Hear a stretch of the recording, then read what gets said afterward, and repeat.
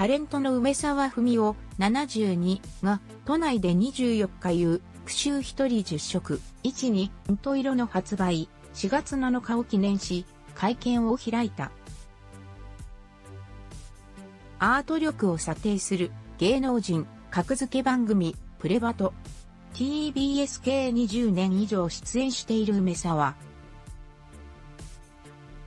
この番組で知識ゼロから俳句を始め、今や最高段位の永世名人だ。会見は番組収録の合間に行われ、監修を務めた、俳人、夏井五木先生、65が同席。MC のダウンタウン浜田雅俊、59もさ、プライズで現れ、梅沢に花束を渡した。ババア、おっちゃんと互いに呼び、会う梅沢と夏井先生の毒舌も番組名物。ただ、夏井先生、この日は梅沢が読んだ傑作50句を芸能人がち、よっと作ったとか、そういう扱いには絶対にしないでください。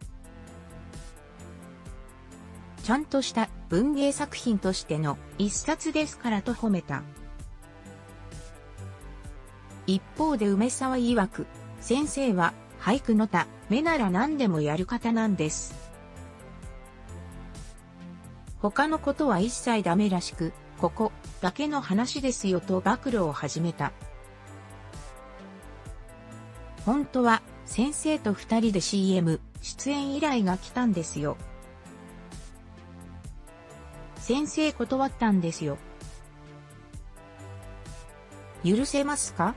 先生と一緒じゃなきゃ俺、CM 決まらないんですよ。それを、俳句、絡みの仕事じゃないんだったらやらないって。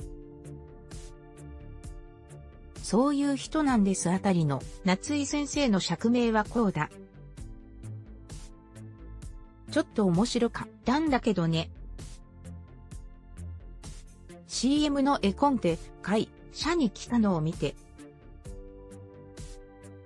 今まで断ってきたけど、これだけは、ちょっとちゃんとやるんなら面白。そうだなっての一本だけあって、ちょっと迷ったんですけどね。頭ん中で私、あの CM は頭ん中でずっとできてて、自分で楽しんでま、すそを聞いてもまだ、梅沢は CM 依頼を断ったんですよ。信じられますか？いい金、ギャラ、なんだからと愚痴っていた。